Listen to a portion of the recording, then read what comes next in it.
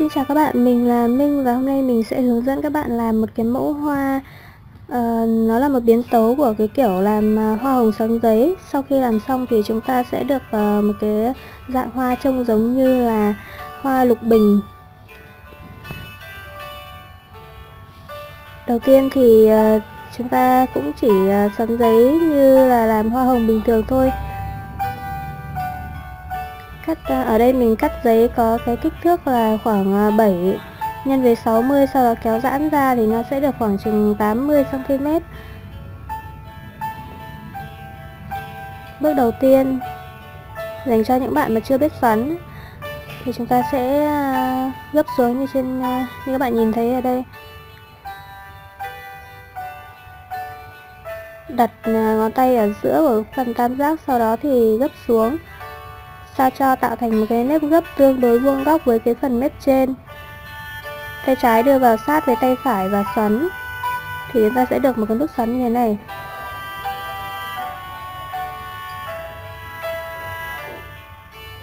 Tương tự như vậy, đến nút xoắn thứ hai chúng ta cũng đặt ờ, ngón cái của bàn tay phải vào giữa của cái phần nút xoắn đã tạo ra trước đó. Sau đó gấp xuống và xoắn.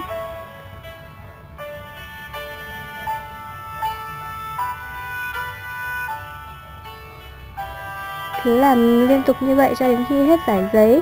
Đối với cái mẫu hoa này thì cái nút xoắn của các bạn có độ ờ, phồng thì càng tốt. Còn đối với những bạn nào mà nút xoắn cái kiểu ờ, đẹp đẹp thì ờ, lên hoa chân nó sẽ không không được đẹp bằng nút xoắn phồng nha các bạn có thể xoắn hết chiều dài mảnh giấy cho mình nha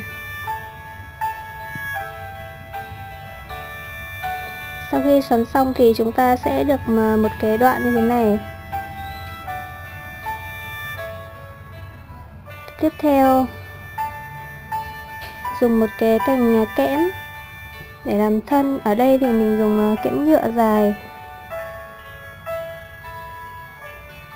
Đặt cành kẽm lên phần cuối của cái đoạn xoắn, sau đó thì à, gấp cái phần giấy thừa xuống và quấn cuốn cái giải giấy xung quanh cành kẽm sao cho cái phần nút xoắn vừa rồi nó chìa ra ngoài? Nghĩa là chúng ta sẽ quấn ngược so với ờ, khi mà chúng ta làm hoa hồng.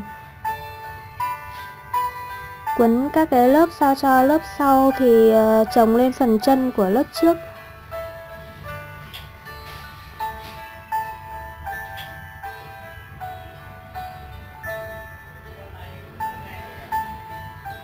Mình uh, sử dụng cái màu giấy này cho nên là nó hơi bị chói một chút.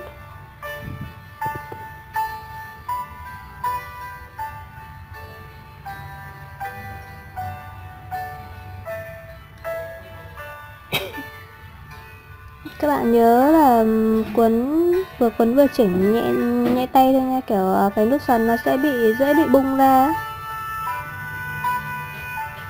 Đấy, vừa nói xong bung liền.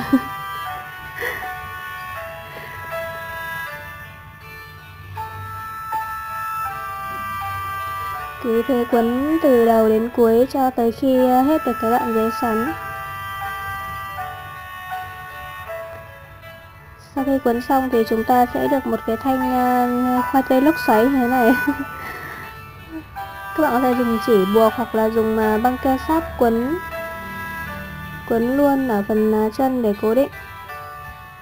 Sau khi mình làm xong cái hoa này thì mình cũng chẳng biết nó tên là gì cả mình à, đăng lên phây hỏi thì có một bạn bạn ấy đặt tên hoa này là hoa khoai tây lúc xoáy.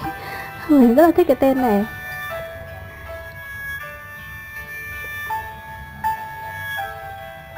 Quên mất à, ở đây chúng ta sẽ làm lá luôn nha để à, quấn vào kia luôn đỡ phải quấn hai lần.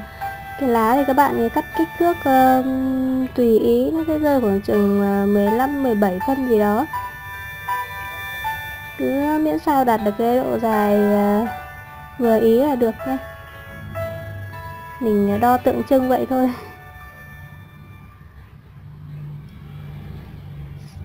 Cắt thành cái hình à, cái cái dáng lá dài. Sau đó thì kéo giãn một chút ở giữa cho lá nó hơi phồng phồng ra. Ghép luôn lá vào thân, sau đó thì dùng băng keo sáp cuốn luôn. Một bông thì thường mình làm cỡ hai, ba lá gì đó ừ, ốp vào thân.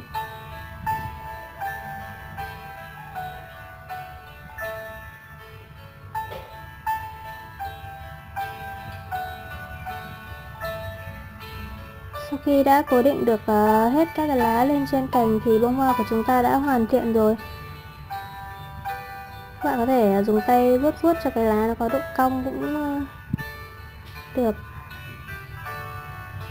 trông nó hơi chói nên là hơi bị khó nhìn đúng không?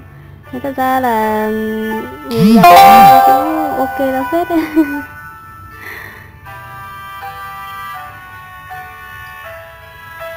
Chúc bạn thành công với mẫu hoa này nha